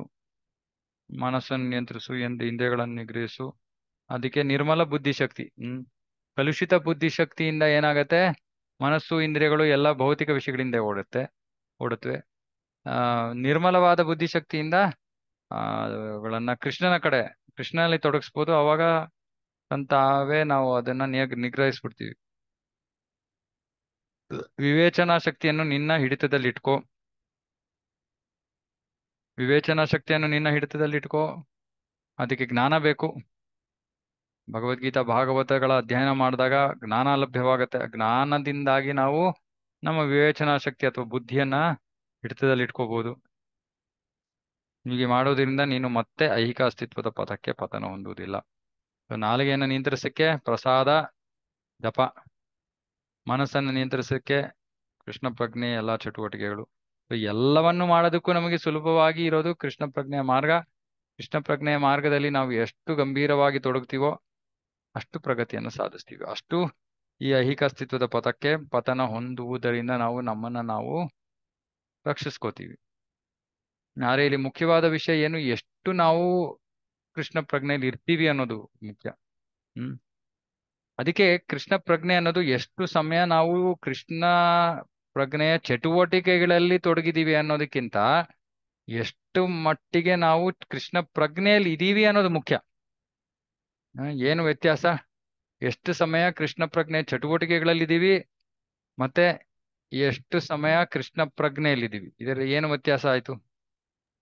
ಅಂದ್ರೆ ನಾವ್ ಇವಾಗ ಏನೋ ಸೇವೆ ಮಾಡ್ತಾ ಇರ್ತೀವಿ. ಅವಾಗ ಮನಸ್ಸು ಪೂರ್ತಿ ಸೇವೆ ಮಾಡೋಷ್ಟೊತ್ತು ದೇವರನ್ನ ಧ್ಯಾನ ಮಾಡಿದ್ರೆ ಆವಾಗ ನಾವು ಕೃಷ್ಣ ಪ್ರಜ್ಞೆಯಲ್ಲಿ ಇದೀವಿ ಅಂತ ಆಗತ್ತೆ. ಇಲ್ಲ ಅಂದ್ರೆ ಮಾಡ್ತಾ ಇರ್ತೀವಿ ಬೇರೆ ಎಲ್ಲೋ ಬಂದಿದ್ರೆ ಅದು ಸಂಪೂರ್ಣ ಇದಾಗೋದಿಲ್ಲ. ಅದು ಸುಮ್ಮನೆ ಕೃಷ್ಣ ಪ್ರಜ್ಞೆ ಚಟುವಟಿಕೆ ಆಗತ್ತೆ, ಆದ್ರೆ ಪ್ರಜ್ಞೆ ಕೃಷ್ಣನಲ್ಲಿರಲ್ಲ. ಹಾಗಾಗಿ ನಾವು ಎಷ್ಟು ಸಮಯ ಕೃಷ್ಣ ಪ್ರಜ್ಞೆ ಚಟುವಟಿಕೆಗಳಲ್ಲಿ ಇದೀವಿ ಅನ್ನೋದಕ್ಕಿಂತ ಎಷ್ಟು ಸಮಯ ಕೃಷ್ಣ ಪ್ರಜ್ಞೆಯಲ್ಲಿ ಇದೀವಿ ಅನ್ನೋದು ಮುಖ್ಯ. ಆದ್ರೆ ಹೆಚ್ಚು ಸಮಯ ಕೃಷ್ಣ ಪ್ರಜ್ಞೆ ಚಟುವಟಿಕೆಗಳಲ್ಲಿ ತೊಡಗಿದ್ರೆ ಕ್ರಮೇಣವಾಗಿ ಕೃಷ್ಣ ಪ್ರಜ್ಞೆಯು ಹೆಚ್ಚಾಗ್ಬೇಕು. ಅಂದ್ರೆ ನಾವು ಉದ್ದೇಶಪೂರ್ವಕವಾಗಿ ಪ್ರಜಲ್ಪ ಕೆಲ್ಸಕ್ಕೆ ಬಾರ್ದ ಇದ್ ಮಾತುಗಳನ್ನ ಮಾತಾಡ್ಕೊಂಡು ಇನ್ನೇನೋ ಮಾಡ್ಕೊಂಡು ಆ ರೀತಿ ಮಾಡದೆ ಹೋದ್ರೆ ಸಹಜವಾಗಿ ಕೃಷ್ಣ ಪ್ರಜ್ಞೆನೂ ಬೆಳೆಯುತ್ತೆ. ಕೃಷ್ಣ ಪ್ರಜ್ಞೆ ಚಟುವಟಿಕೆಗಳಿಗೆ ನಾವು ಹೆಚ್ಚು ಸಮಯ ತೊಡಗಿದಷ್ಟು ಕೃಷ್ಣ ಪ್ರಜ್ಞೆಯೂ ಬೆಳೆಯುತ್ತೆ. ಅರೆ ಎಷ್ಟೊಂದು ಜನ ಕಡಿಮೆ ಸಮಯ ಕೃಷ್ಣ ಪ್ರಜ್ಞೆ ಚಟುವಟಿಕೆಗಳಲ್ಲಿ ತೊಡಗ್ಬೋದು, ಆದ್ರೆ ಅವರ ಪ್ರಜ್ಞೆ ಕೃಷ್ಣನಲ್ಲಿದೆ. ಹ್ಮ್ ಸೊ ಪ್ರಜ್ಞೆ ಇರ್ಬೇಕು. ಪ್ರಜ್ಞೆ ಇರ್ಬೇಕು. ಎರಡೂ ಜೊತೆಗೆ ಮಾಡ್ಬೇಕು. ಚಟುವಟಿಕೆನೂ ಮಾಡ್ಬೇಕು, ಪ್ರಜ್ಞೆನೂ ಕೃಷ್ಣನಲ್ಲಿ ಇರಿಸ್ಬೇಕು.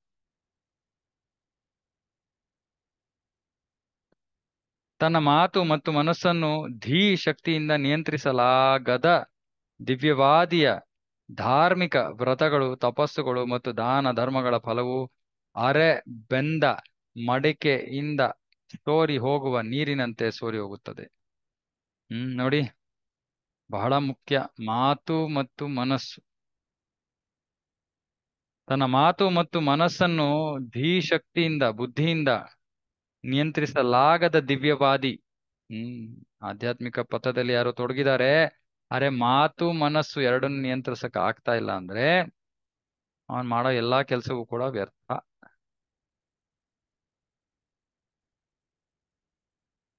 ಹ್ಮ್.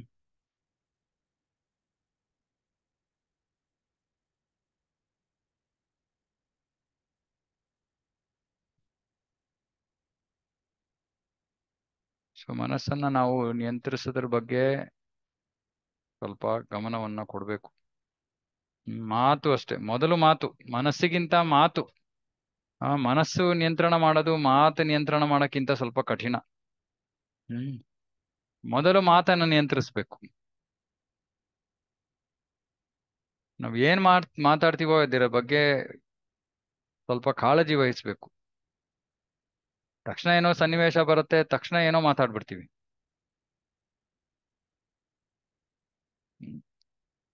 ಮಾತನ್ನ ನಿಯಂತ್ರಿಸೋದಕ್ಕೆ ನಾವು ಸತ್ವಗುಣಕ್ಕೆ ಬರ್ಬೇಕು.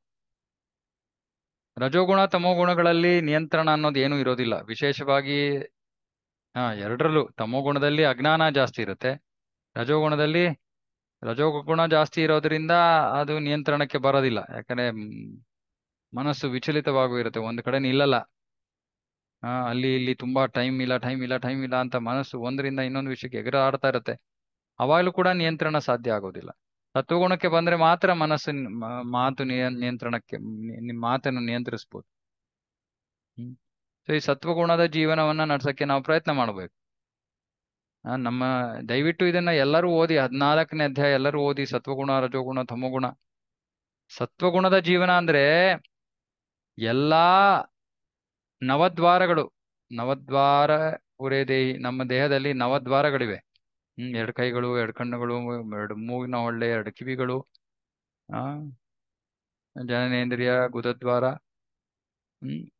ಸೊ ಎಲ್ಲಾ ದ್ವಾರಗಳು ಎಲ್ಲಾ ದ್ವಾರಗಳು ಜ್ಞಾನದಿಂದ ಪ್ರಕಾಶಮಾನವಾಗ್ಬೇಕಂತೆ. ಅಂದ್ರೆ ಏನರ್ಥ? ಎಲ್ಲಾ ದ್ವಾರಗಳು ಜ್ಞಾನದಿಂದ ಪ್ರಕಾಶವಾಗಬೇಕು ಅಂದ್ರೆ ಯಾವ ದ್ವಾರದ ಮುಖೇನ ಅಜ್ಞಾನದ ಕೆಲಸ ನಡಿಬಾರ್ದು. ಯಾವ ದ್ವಾರದ ಮುಖೇನವೂ ಕೂಡ ಅಜ್ಞಾನದ ಕೆಲಸ ನಡಿಬಾರ್ದು. ಅಂದ್ರೆ ಮಾಡಬಾರ್ದ ಕೆಲಸಗಳಲ್ಲಿ ತೊಡಗಬಾರ್ದು. ಅವಾಗ ವ್ಯಕ್ತಿ ಸತ್ವಗುಣದಲ್ಲಿದ್ದಾನೆ. ಹ್ಮ್. ಆಗ ಸಹಜವಾಗಿ ಮಾತು ನಿಯಂತ್, ಮಾತಿನ ನಿಯಂತ್ರಣ ಆಗೋಗುತ್ತೆ. ಇದನ್ನು ನೆನ್ಪಿಟ್ಕೊಳ್ಳಿ. ನವದ್ವಾರಗಳು ಕೂಡ ಜ್ಞಾನದಿಂದ ಪ್ರಕಾಶಮಾನವಾಗಿವೆ. ಅಂದ್ರೆ ಅಜ್ಞಾನದಲ್ಲಿ ತೊಡಗೋದಿಲ್ಲ, ಅಜ್ಞಾನದ ಕಾರ್ಯಗಳಲ್ಲಿ ತೊಡಗೋದಿಲ್ಲ. ಯಾವ ದ್ವಾರವು ಕಣ್ಣು ಕೆಲ್ಸಕ್ಕೆ ಬಾರ್ದೆ ನೋಡೋದಿಲ್ಲ, ಕಿವಿ ಕೆಲ್ಸಕ್ಕೆ ಬಾರ್ದೆ ಕೇಳೋದಿಲ್ಲ, ಮೂಗು ಕೆಲ್ಸಕ್ಕೆ ಬಾರ್ದೆ ವಾಸನೆ ತಗೊಳ್ಳಲ್ಲ ಬಾಯಿ ಕೆಲ್ಸಕ್ಕೆ ಬಾರ್ದೆ ತಿನ್ನೋಲ್ಲ, ಇತ್ಯಾದಿ ಇತ್ಯಾದಿ. ಹ್ಮ್. ಮಾತು ನಿಯಂತ್ರಣವಾದ್ಮೇಲೆ ನೆಕ್ಸ್ಟ್ ಮನಸ್ಸು. ಒಂದ್ಸತಿ ಮಾತು ನಿಯಂತ್ರಣವಾಗೋಗಿರುತ್ತೆ, ಆದ್ರೆ ಮನಸ್ಸಲ್ಲಿ ಓಡ್ತಾ ಇರುತ್ತೆ. ಓ, ಹಿಂಗೆ, ಅವ್ ಹಿಂಗೆ, ಇವ್ರು ಹಂಗೆ ಅಂತ. ಆದ್ರೆ ಮಾತನ್ನ ನಿಯಂತ್ರಿಸಿರೋದ್ರಿಂದ ಬಾಯಿಯಿಂದ ಹೊರಗಡೆ ಬರಲ್ಲ. ನಮ್ಗೆ ಕಲಿಯುಗದಲ್ಲಿ ಒಂದು ಪುಣ್ಯ ನಮ್ಗೆ. ಯಾಕಂದ್ರೆ ಯೋಚನೆ ಮಾಡೋ ವಿಷಯಗಳಿಂದ ನಾವು ಕರ್ಮಫಲ ಪಡ್ಕೊಳ್ಳಲ್ಲ. ಮಾಡೋ ವಿಷಯಗಳಿಂದ ಮಾತ್ರ ಕರ್ಮಫಲ. ಸೊ ಆ ಮನಸ್ಸಿನ ಯೋಚನೆ ಬಾಯಿಗೆ ಬಂದ ತಕ್ಷಣ ಕರ್ಮಫಲ. ಮನಸ್ಸಿನಲ್ಲೇ ಇದ್ರೆ ಕರ್ಮಫಲ ಇಲ್ಲ. ಆದ್ರೆ ತೊಂದರೆ ಏನಂದ್ರೆ, ಈ ಮನಸ್ಸಿನಲ್ಲೇ ಹೆಚ್ಚು ವಿಷಯಗಳನ್ನ ಹಾಕೊಂಡಾಗ ಅದೇನಾಗತ್ತೆ? ನಮ್ಮ ನಿಯಂತ್ರಣವನ್ನ ಮೀರಿ ಒಂದಿನ ಬಾಯಿಂದ ಹೊರಗಡೆ ಬಂದ್ಬಿಡುತ್ತೆ. ಸೊ ಮನಸ್ಸನ್ನು ಕೂಡ ನಾವು ಸ್ವಚ್ಛವಾಗಿ ಇಡ್ಬೇಕು. ಮನಸ್ಸನ್ನ ನಾವು ನಿಯಂತ್ರಿಸ್ಬೇಕು ಅಂದ್ರೆ ಭೌತಿಕ ಸ್ತರದಿಂದ ನಾವು ಹೊರಗಡೆ ಬರ್ಬೇಕು. ಎಷ್ಟು ಭೌತಿಕ ಸ್ತರದಲ್ಲಿ ಇರ್ತೀವೋ, ಭೌತಿಕ ಜೀವನ ಕಲ್ಪನೆಯಲ್ಲಿ ಇರ್ತೀವೋ ಅಂದ್ರೆ ನಾನು, ನನ್ನದು, ಅಹಂ, ಮಮ, ನನ್ನ ದೇಹ, ನನ್ನ ಕುಟುಂಬ, ನನ್ನ ಸದಸ್ಯರು, ನನ್ನ ಸಮಾಜ, ಈ ಪ್ರಜ್ಞೆಯಲ್ಲಿ ಇರೋ ತನಕ ಮನಸ್ಸನ್ನು ನಿಯಂತ್ರಿಸಕ್ಕಾಗಲ್ಲ. ಸೊ ಎಷ್ಟು ನಾವು ಭೌತಿಕ ಪ್ರಜ್ಞೆಯಲ್ಲಿ ಇರ್ತೀವೋ ಅಷ್ಟು ಮನಸ್ಸನ್ನು ನಿಯಂತ್ರಿಸೋದು ಕಠಿಣ. ಹ್ಮ್. ಹಾಗಾಗಿ ಮನಸ್ಸನ್ನ ಕೃಷ್ಣನ ವಿಷಯಗಳಲ್ಲಿ ತೊಡಗಿಸ್ಬೇಕು. ಹ್ಮ್, ಮನ್ಮನ ಆ ಮನ್ ಮನ್ ಮನ್ಮನ ಆದತ್ಸ್ವ ಮೈ ಬುದ್ಧಿಂ ನಿವೇಶಯ. ಹ್ಮ್, ಬುದ್ಧಿ ಮತ್ತೆ ಮನಸ್, ಮನಸ್ಸು ಮತ್ತೆ ಬುದ್ಧಿ ಎರಡನ್ನೂ ಕೂಡ ಕೃಷ್ಣನಲ್ಲಿ ತೊಡಗಿಸ್ಬೇಕು. ಮನಸ್ಸನ್ನ ಕೃಷ್ಣನಲ್ಲಿ ತೊಡಗಿಸೋದಕ್ಕೆ ಅತ್ಯಂತ ಪ್ರಬಲವಾದ ಮಾರ್ಗ ಹರೇ ಕೃಷ್ಣ ಮಹಾಮಂತ್ರದ ಜಪ ಲೀಲಾ ಶ್ರವಣ ಹ್ಮ್ ಇವೆರಡರಿಂದಲೂ ಕೂಡ ಮನಸ್ಸು ಬಹಳ ಸಹಜವಾಗಿ ಕೃಷ್ಣನಲ್ಲಿ ತೊಡಗ್ಬಿಡುತ್ತೆ. ಆಗ ಮನಸ್ಸು ನಿಯಂತ್ರಣಕ್ಕೆ ಬರುತ್ತೆ. ಅದೇ ತೊಂದರೆ ಏನಂದ್ರೆ, ಆ, ಶ್ರವಣ ಮಾಡ್ತಿರುವಾಗ ಮನಸ್ಸು ನಿಯಂತ್ರಣದಿದೆ. ಶ್ರವಣ ಇಲ್ದ ತಕ್ಷಣ ಮನಸ್ಸು ತಿರ್ಗಾ ಕೈ ಬಿಟ್ಟು ಹೋಗ್ಬಿಡತ್ತೆ. ಹ್ಮ್, ಹಾಗಾಗಿ ಎಷ್ಟು ಜಾಸ್ತಿ ಶ್ರವಣ ಮಾಡ್ತೀವೋ ಅಷ್ಟು ಜಾಸ್ತಿ ಮನಸ್ಸು ನಿಯಂತ್ರಣಕ್ಕೆ ಬರುತ್ತೆ. ಅಷ್ಟು ಜಾಸ್ತಿ ಅದು ಪರಿಶುದ್ಧವಾಗಿ ಹೋಗುತ್ತೆ ಅವಾಗ ಸಂಪೂರ್ಣವಾಗಿ ನಿಯಂತ್ರಣಕ್ಕೆ ಬರೋ ಸಾಧ್ಯತೆ ಇದೆ. ಇದಕ್ಕೂ ಕೂಡ ಸತತವಾದ ಭಕ್ತಿ ಪ್ರಕ್ರಿಯೆ, ತೀವ್ರ ಭಕ್ತಿ ಮಾಡೋದ್ರಿಂದ ಮನಸ್ಸು ನಿಯಂತ್ರಣಕ್ಕೆ ಬರುತ್ತೆ ಕಾಲಕ್ರಮೇಣ. ಅಲ್ಲಿವರೆಗೂ ನಾವು ಕನಿಷ್ಠ ಪಕ್ಷ ನಮ್ಮ ಮನಸ್ಸಿನಲ್ಲಿ ಕೆಲಸಕ್ಕೆ ಬಾರದೇ ಇದು ಯೋಚನೆಗಳು ಬಂದಾಗ ಅದಕ್ಕೆ ತುಂಬಾ ಪ್ರಾಮುಖ್ಯತೆ ಕೊಟ್ಟು ಅದರ ಬಗ್ಗೆ ಜಾಸ್ತಿ ಚಿಂತನೆ ಮಾಡಬಾರ್ದು. ಏನೋ ಬಂತ ವಿಷಯ, ಅದೇನು ಉಪಯೋಗ ಇಲ್ಲ ನಮ್ಗೆ ಅಂತ ಗೊತ್ತಾದ ತಕ್ಷಣ ಅದನ್ನ ಬಿಟ್ಬಿಡಕ್ ಪ್ರಯತ್ನ ಮಾಡ್ಬೇಕು. ಅದು ಬಿಡೋದಕ್ಕೂ ಕೂಡ ನಮಗೆ ಶಕ್ತಿ ಬೇಕಂದ್ರೆ ಯಾಕಂದ್ರೆ ಬಿಡೋದಕ್ಕೂ ಒಂದೊಂದ್ಸತಿ ಆಗೋದಿಲ್ಲ ನಮ್ಗೆ. ಆ, ಬಿಡ್ಬೇಕು ಅಂತ ಇದೀವಿ, ಮತ್ತೆ ಮತ್ತೆ ವಾಪಸ್ ಬರ್ತಾ ಇರ್ತೇವೆ ಎಷ್ಟು ಜಾಸ್ತಿ ನಾವು ಕೃಷ್ಣನ ಆಶ್ರಯವನ್ನ ಪಡ್ಕೋತೀವೋ ಅಷ್ಟು ಇದು ಸಾಧ್ಯವಾಗತ್ತೆ. ಹ್ಮ್, ಜಪ ಮಾಡ್ತಿರುವಾಗ ಮನಸ್ಸಿನಲ್ಲಿ ಎಷ್ಟೊಂದು ಭೌತಿಕ ವಿಷಯಗಳು ಬರುತ್ತೆ. ಇದಕ್ಕೆ ಕಾರಣ ಏನು? ನಾವು ಭೌತಿಕವಾಗಿ ಅಂಟ್ಕೊಂಡಿದೀವಿ, ಅದಕ್ಕೆ ಭೌತಿಕ ವಿಷಯಗಳು ಬರ್ತಾ ಇವೆ.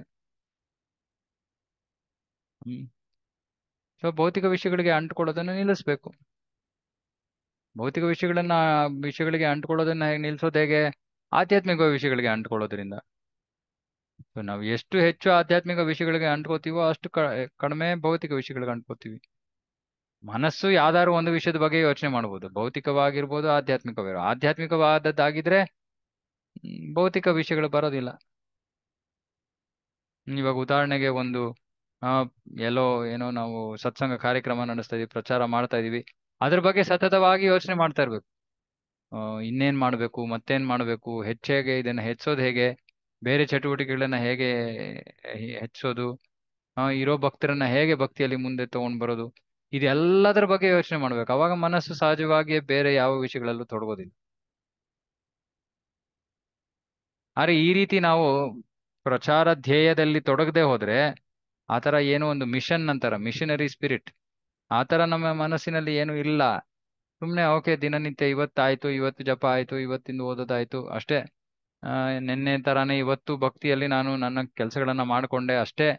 ಅಂದ್ರೆ ಅವಾಗ ಮನಸ್ಸು ಮನಸ್ಸನ್ನ ಹಿಡಿದಿಡೋದು ಕಷ್ಟ. ಹ್ಮ್. ಈ ಪ್ರಚಾರ ಕಾರ್ಯಗಳಲ್ಲಿ ತೊಡಗಬೇಕು ಪುಸ್ತಕ ವಿತರಣೆಗಳ ವಿತರಣೆಯಲ್ಲಿ ತೊಡಗಬೇಕು. ಹ್ಮ್. ಯಾಕಂದ್ರೆ ಈ ಎಲ್ಲಾ ವಿಷಯಗಳು ಬಹಳ ಕಠಿಣ ನಮಗೆ. ಸುಲಭವಾಗಿ ಮಾಡೋಕ್ಕಾಗಲ್ಲ. ಅವಾಗ ಏನಾಗುತ್ತೆ? ಮನಸ್ಸು ಸಹಜವಾಗಿ ಅದರಲ್ಲಿ ಮುಳುಗುತ್ತೆ. ಯೋಚನೆ ಮಾಡೋದ್ರಲ್ಲಿ, ಏನ್ ಮಾಡ್ಬೇಕು ಅನ್ನೋದ್ರಲ್ಲಿ ಇತ್ಯಾದಿ ಇತ್ಯಾದಿ. ಹ್ಮ್. ಮನಸ್ಸನ್ನು ಮನಸ್ಸನ್ನ ನಿಯಂತ್ರಿಸ್ಬೇಕು ಅಂದ್ರೆ ನಮ್ಮ ಶಕ್ತಿಯನ್ನ ಮೀರಿರುವಂತ ಸೇವೆ ತಗೋಬೇಕು ನಾವು. ಅವಾಗ ಮನಸ್ಸು ನಿಯಂತ್ರಿತವಾಗತ್ತೆ. ಹ್ಮ್, ನಮ್ಮ ಶಕ್ತಿಯನ್ನ ಮೀರಿರುವಂತ ಸೇವೆ. ನಮಗೆ ಸಾಧ್ಯವಾದದ್ದನ್ನೇ ತಗೊಂಡ್ರೆ ನಾವು ಓಕೆ. ಬಟ್ ಮನಸ್ಸಷ್ಟು ತಲ್ಲೀನವಾಗೋದಿಲ್ಲ. ಮಾಡತ್ತೆ, ಆಮೇಲೆ ಆಯ್ತು, ಇದು ನನ್ಗೆ ಗೊತ್ತು, ಇದು ಸಾಧ್ಯ, ಇದೆ, ನನ್ನಿಂದ ಮಾಡಬಹುದು ಅಂತ ಶಾಂತವಾಗಿ ಹೋಗ್ಬಿಡುತ್ತೆ ಅಂದ್ರೆ ಮತ್ತೆ ಭೌತಿಕ ವಿಷಯಗಳ ಬಗ್ಗೆ ಯೋಚನೆ ಮಾಡುತ್ತೆ. ಯಾವಾಗ ಅದೇ ನಮ್ಮ ಕೈ ಮೀರಿ ಇದೆಯೋ ಸೇವೆ, ಅವಾಗ ಅದ್ರ ಬಗ್ಗೆ ನಾವು ಯೋಚನೆ ಮಾಡ್ಬೇಕಾಗತ್ತೆ. ಅವಾಗ ಸಹಜವಾಗಿ ಮನಸ್ಸು ಬೇರೆ ಭೌತಿಕಗಳ ಬಗ್ಗೆ ವಿಷಯಗಳ ಬಗ್ಗೆ ಯೋಚನೆ ಮಾಡಕ್ಕೆ ಅದಿರಲ್ತದ ಸಮಯನೂ ಇರಲ್ಲ, ಶಕ್ತಿನೂ ಇರಲ್ಲ. ಇದು ಬಹಳ ಮುಖ್ಯವಾದದ್ದು. ನನಗೆ ಶರಣಾಗತನಾಗಿ ಜೀವಿಯು ಮಾತನ್ನು ನಿಗ್ರಹಿಸಬೇಕು, ಮನಸ್ಸನ್ನು ಮತ್ತು ಪ್ರಾಣವಾಯುವನ್ನು ನಿಗ್ರಹಿಸಬೇಕು. ಅನಂತರ ಪ್ರೇಮ ಪೂರಿತ ಭಕ್ತಿಯು ಬುದ್ಧಿಯಿಂದ ಜೀವಿಯು ಜೀವನದ ಕಾರ್ಯೋದ್ದೇಶಗಳನ್ನು ಸಂಪೂರ್ಣವಾಗಿ ನೆರವೇರಿಸುವನು. ಹ್ಮ್. ಭಗವಂತನ ಭಗವಂತನ ಸೇವೆಯಲ್ಲಿ ತೊಗೋ ತೊಡಗಬೇಕು, ಭಗವಂತನಿಗೆ ಶರಣಾಗತರಾಗಬೇಕು.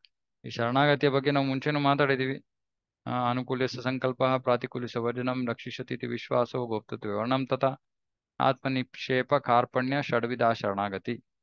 ಹ್ಮ್, ಶರಣಾಗತಿಯಲ್ಲಿ ಆರು ಆರು ಅಂಗಗಳಿವೆ. ಅನುಕೂಲಿಸ ಸಂಕಲ್ಪ. ಯಾವುದು ಕೃಷ್ಣ ಭಕ್ತಿಗೆ ಅನುಕೂಲಕರವಾಗಿದೆಯೋ ಅದನ್ನು ಅದರಲ್ಲಿ ತೊಡಗಬೇಕು. ಪ್ರಾತಿಕೂಲಿಸ ವರ್ಜನಂ ಪ್ರತಿಕೂಲಕರವಾಗಿರೋದನ್ನ ತ್ಯಜಿಸಬೇಕು. ರಕ್ಷಿಸತೀತಿ ವಿಶ್ವಾಸ ಈ ಅನುಕೂಲಕರ ವಿಷಯಗಳನ್ನು ಸ್ವೀಕರಿಸೋದ್ರಲ್ಲಿ ಪ್ರತಿಕೂಲಕರ ವಿಷಯಗಳನ್ನು ತ್ಯಜಿಸೋದ್ರಲ್ಲಿ ನಾವು ಆ, ರಕ್ಷಿಸತೀತಿ ವಿಶ್ವಾಸ ಏನೇ ಮಾಡಿದ್ರು ಕೂಡ ಕೃಷ್ಣ ನನ್ನ ರಕ್ಷಿಸ್ತಾನೆ ನನ್ನ ಭಕ್ತಿಯನ್ನ ರಕ್ಷಿಸ್ತಾನೆ. ಆ ಗೋಪ್ತೃತ್ವ ವರ್ಣಂ ತಥಾ ಅವನೇ ನಮ್ಮ ಮನೆಯನ್ನ ನೋಡ್ಕೋತಾ ಇರೋನು ಅವನೇ ಪಾಲಕ.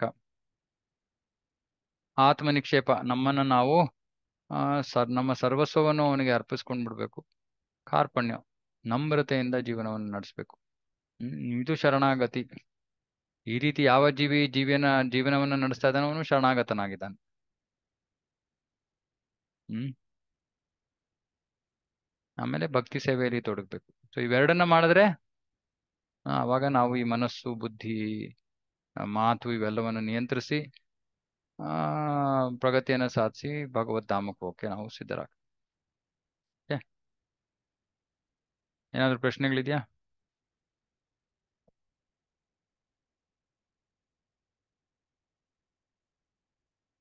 ಓಕೆ ಏನು ಇಲ್ಲ ಅಂದ್ರೆ ಹಾ. ಪ್ರಭುಜಿ ಪ್ರಭುಜಿ ಅದು ಪ್ರಾಣ ಅಪಾನ ವ್ಯಾನ ಉದಾನ ಅದು ಎರಡನೇ ಅಧ್ಯಾಯದ ಹದಿನೇಳನೇ ಶ್ಲೋಕದಲ್ಲಿ ಬರುತ್ತೆ. ಅವಾಗ್ಲೇ ಬಂತು ನಮಗೆ ಇಲ್ಲಿ ಚೇತನದ ಬಗ್ಗೆ ಅಥವಾ ಪ್ರಜ್ಞೆಯ ಬಗ್ಗೆ. ಹ್ಮ್. ಅದು ತೇಲಾಡ್ತಾ ಇರುತ್ತೆ ಅಂತ ಹೇಳ್ಬಿಟ್ಟು ಅಲ್ಲಿ ಅದು ಹೇಗೆ ಪ್ರಭುಜಿ ಅದು? ಹ್ಮ್. ವ್ಯಾ- ಪಂಚವಾಯುಗಳು ಪ್ರಾಣಾಪಾನ ವ್ಯಾನ ಸಮಾನ ಉದಾನ. ಈ ಐದು ವಾಯುಗಳಲ್ಲಿ ಆತ್ಮ ತೇಲಾಡ್ತಾ ಇರುತ್ತೆ. ವಾಯು ಗಾಳಿ. ಅದು ಭೌತಿಕವಾದದ್ದು. ಹ್ಮ್ ವಾಯು ಭೌತಿಕವಾದದ್ದು ಸೂಕ್ಷ್ಮವಾದದ್ದು. ಹ್ಮ್ ಅರೆ ಭೌತಿಕವಾದದ್ದು. ಆತ್ಮ ಆಧ್ಯಾತ್ಮಿಕವಾದದ್ದು. ಆತ್ಮ ಆ ಈ ಗಾಳಿಗಳಲ್ಲಿ ಹಾರಾಡ್ತಾ ಇರತ್ತೆ. ಇವಾಗ ಹೇಗೆ ಅಂದ್ರೆ ಆ ಒಂದೊಂದು ಇವಾಗ ನಾವು ಸ್ಕೂಲಲ್ಲೆಲ್ಲ ಇದ್ದಾಗ ಈ ಒಂದು ಬಾಲ್ನ ಗಾಳಿಯಲ್ಲಿ ನಿಲ್ಸೋದು. ಅಂದ್ರೆ ಕೆಳಗಡೆಯಿಂದ ಗಾಳಿ ಊದಿದಾಗ ಒಂದು ಬಾಲ್ ಇರುತ್ತೆ ಅದು ಮೇಲೆ ತೇಲಾಡ್ತಾ ಇರುತ್ತೆ. ಆ? ಹಾ, ಆ ರೀತಿ. ಆ ಆ ರೀತಿ ಆತ್ಮ ಈ ವಾಯುವನ್ನು ಕೂಡ ಸ್ಪರ್ಶ ಮಾಡಲ್ಲ. ಹ್ಮ್ ದೇಹವನ್ನು ಸ್ಪರ್ಶ ಮಾಡಲ್ಲ. ಅದು ಆ ಗಾಳಿಯಲ್ಲೇ ತೇಲಾಡ್ತಾ ಇರತ್ತೆ ಅದು.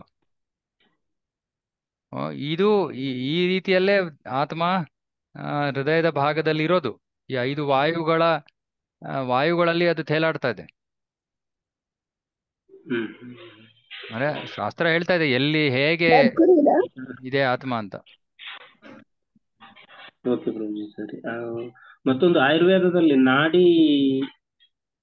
ನೋಡ್ತಾರೆ. ಡಾಕ್ಟರ್ಗಳು ನೋಡುವಂತಹ ನಾಡಿಗೂ ಆಯುರ್ವೇದದಲ್ಲಿ ನೋಡುವ ನಾಡಿಗೂ ಅಂದ್ರೆ ಪ್ರಾಣಶಕ್ತಿಯ ಸಂಚಾರವನ್ನ ನೋಡ್ತಾರೆ ಅಂತ ಹೇಳ್ತಾರೆ. ಹೌದೌದು. ಅಂದ್ರೆ ಅಂದ್ರೆ ಈ ಚೇತನದ್ದೇ ಸಂಚಾರವನ್ನು ನೋಡುದಾ ಅಥವಾ? ಚೇತನ ಯಾವ ಗ್ರಹಿಕೆಗೂ ಮೀರಿರುವಂತದ್ದು ಚೇತನ ಅಂದ್ರೆ ಏನು? ಆತ್ಮ.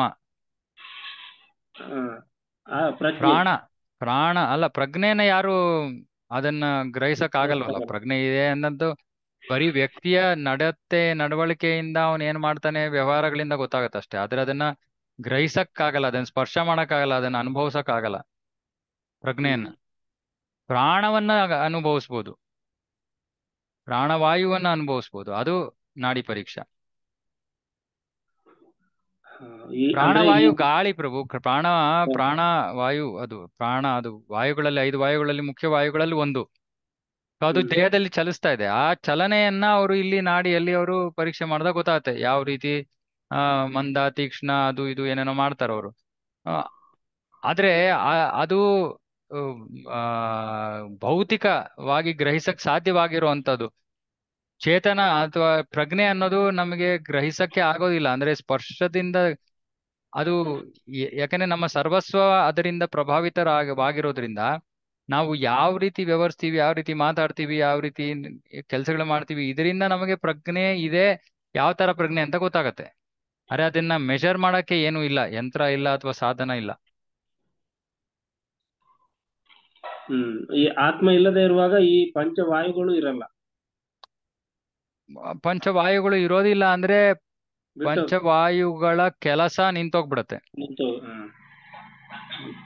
ಇವಾಗ ಗಾಳಿ ದೇಹದಲ್ಲಿ ಚಲಿಸ್ಬೇಕು ಅಂದ್ರೂ ಅದಕ್ಕೆ ಜೀವಶಕ್ತಿ. ಇರ್ಲೇಬೇಕು ಆತ್ಮ ಇರ್ಲೇಬೇಕು. ಆ ಚಲನೆ ಇಲ್ಲಾಂದ್ರೆ ಹಾ ಚಲನೆ ನಿಂತೋಗ್ಬಿಡತ್ತೆ. ಇವಾಗ ಉದಾನ ವಾಯು ಅಂದ್ರೆ ಅದು ಕೆಳಮುಖವಾಗಿ ಹೋಗುತ್ತೆ. ಇವಾಗ ಹೇಗೆ ಕೆಳಮುಖವಾಗಿ ಹೋಗ್ಬೇಕು ಅಂತ ಆ ರೀತಿ ಅದಕ್ಕೆ ರೂಪಿತವಾಗಿದೆ. ಆದ್ರೆ ಅದಕ್ಕೂ ಕೂಡ ಶಕ್ತಿ ಬೇಕು. ಶಕ್ತಿ ಆತ್ಮದ ಶಕ್ತಿ. ಇವಾಗ ಆತ್ಮದ ಶಕ್ತಿ ದೇಹದಿಂದ ಹೊರಗಡೆ ಹೋದ ತಕ್ಷಣ ದೇಹದ ಇವೆಲ್ಲ ಸ್ಥೂ- ಸ್ಥೂಲ ಸೂಕ್ಷ್ಮ ಕೆಲಸಗಳು ವ್ಯಾಪಾರಗಳು ದೇಹದ್ದು. ಆ ಸ್ಥೂಲ ಸೂಕ್ಷ್ಮ ವ್ಯಾಪಾರಗಳಿಗೆ ಬೇಕಾಗಿರೋದು ಆತ್ಮದ ಶಕ್ತಿ. ಆತ್ಮ ದೇಹವನ್ನು ಬಿಟ್ಟಾದ್ಮೇಲೆ ಏನೂ ಗೊತ್ತಾಗಲ್ಲ. ಏನಾಗ್ತಾ ಇದೆ ಅಂತಾನೆ ಗೊತ್ತಾಗಲ್ಲ. ಯಾಕಂದ್ರೆ ಆತ್ ಸಾಮಾನ್ಯವಾಗಿ ದೇಹವನ್ನ ಯಾವ ರೀತಿ ಪರೀಕ್ಷೆ ಮಾಡಕ್ ಆಗುತ್ತೋ ಆ ರೀತಿ ಪರೀಕ್ಷೆ ಮಾಡಕ್ ಆಗಲ್ಲ ಯಾಕಂದ್ರೆ ದೇಹ ಇವಾಗ ಕೆಲಸ ಮಾಡ್ತಾ ಇಲ್ಲ. ದೇಹ ಮೃತವಾಗೋಯ್ತು. ಹ್ಮ್, ಅಂದ್ರೆ ಆ ನಾಡಿಗಳು ಕೆಲಸ ಮಾಡಲ್ಲ, ಏನು ಕೆಲಸ ಮಾಡಲ್ಲ ಅವಾಗ? ಅದು ಮೃತ ಶ- ಮೃತ ಪರಿಸ್ಥಿತಿ. ಹ್ಮ್. ಓಕೆ, ಇನ್ಯಾರ್ಗಾರ ಏನಾದ್ರು? ಓಕೆ ರೆಕಾರ್ಡಿಂಗ್ ಸ್ಟಾಪ್ ಮಾಡ್ತೀನಿ. ಭಕ್ತಿ ಸಿದ್ಧಾಂತ ಸರಸ್ವತಿ ಠಾಕೂರ್ ಬಗ್ಗೆ ಒಂದು ಐದು ನಿಮಿಷ ಶ್ರೀಮದ್ ಭಾಗವತಂ ಕಿ ಜಯ ಜಗತ್ ಗುರು ಶಿಲ ಪ್ರಭಾತ್ ಕಿ ಜಯ, ಸಂವೇದ ಗೌರವ ಭಕ್ತ ಕಿ ಜಯ, ಹರೇ ಕೃಷ್ಣ.